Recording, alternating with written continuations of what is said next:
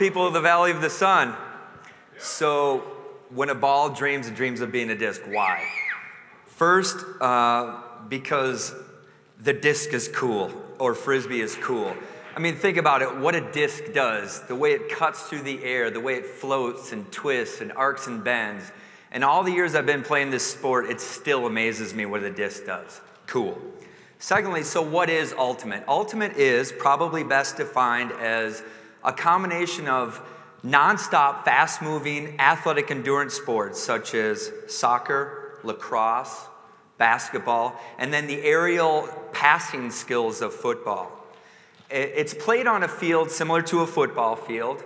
Uh, it's two teams with seven players on each side. And these two teams, seven players on each side on this football field, if you will, they have an opportunity to pass the disc, and when you pass the disc and catch it, you have to stop and establish a pivot foot, just like basketball. And then when you catch the disc, you have 10 seconds to get rid of the disc. So somebody on you, marking you, a defender, counts to 10. If you don't get rid of that disc in that time, it's a turnover. And turnovers occur in this manner. If the disc goes out of bounds, it's a turnover. If it's intercepted, it's a turnover. If you drop it, it's a turnover. So and the gist of it, that's how Ultimate is played.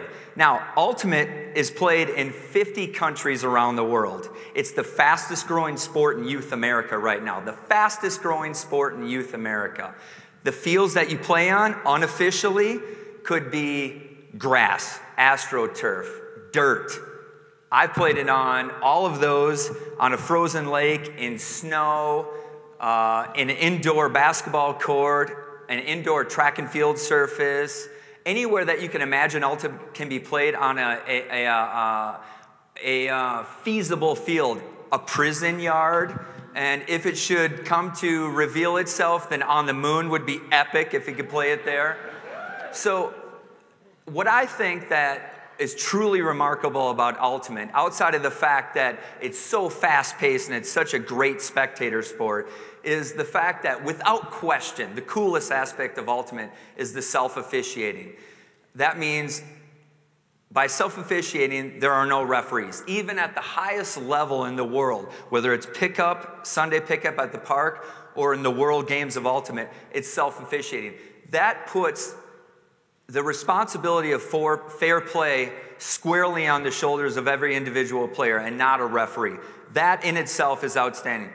And in this day and age, with uh, the world we live in, I think that is resounding and resonates greatly with parents and what it teaches kids that conflict resolve. So, if there are any parents or aunts and uncles or anybody that has kids or knows of kids and they're on the bubble about playing ultimate, just think about that and wrap your brain around that for a moment. Conflict resolve. So, right now in the summer, they have a camp in Israel where it pits Palestinian kids and Israeli kids together on the field. Think about that for a moment conflict resolve in this day and age. Awesome.